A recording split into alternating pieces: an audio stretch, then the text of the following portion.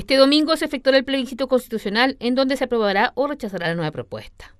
En dicho contexto, son 36 los servicios de transporte público rural gratuito los que estarán operativos en la región de Magallanes. Se trata de 13 transportes terrestres que van a estar repartidos en el territorio, más uno marítimo, esos son los especiales, ¿ya? los que se agregan a lo que nosotros tenemos ya como infraestructura desplegada con servicios regulares, que son bien conocidos por las personas que viven en las distintas localidades.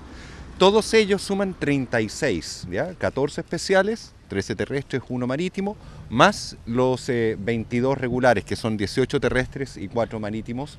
Eh, todos ellos van a ser gratuitos durante el día domingo, ¿ya? Para las elecciones. Desde el gobierno esperan que el proceso se desarrolle de manera normal, como ha sucedido en oportunidades anteriores. Podemos garantizar el normal desarrollo del proceso eleccionario y para ello entendiendo también, para fomentar la participación ciudadana y entendiendo eh, el vasto territorio y las localidades más aisladas, los problemas de conectividad también que tenemos acá en la región, desde las delegaciones presidenciales con el Ministerio de Transporte se proveen de eh, servicios especiales que serán gratuitos el día domingo. De acuerdo a lo estipulado por el Servicio Electoral, CERVEL, existen cuatro excusas válidas para quienes no puedan sufragar.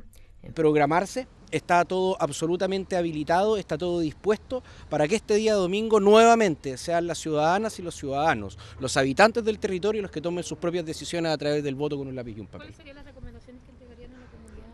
Bueno, lo primero, llegar con su carnet de identidad, del que vayan a tener los tiempos necesarios, en el caso de que exista mayor calor, que puedan también tener agua eh, habilitada. Ayer ya también se informaba a través del CERVEL y también del SENADIS que está a toda la disposición para poder recibir a la gente eh, que tenga capacidad o, movilidad reducida, eh, también para los ciegos, por lo tanto, solamente que, que lo hagan con energía, que lo hagan con tranquilidad. Enfermedad, ausencia del país, impedimento grave comprobado ante el juez competente y encontrarse en un lugar situado a más de 200 kilómetros de su domicilio electoral.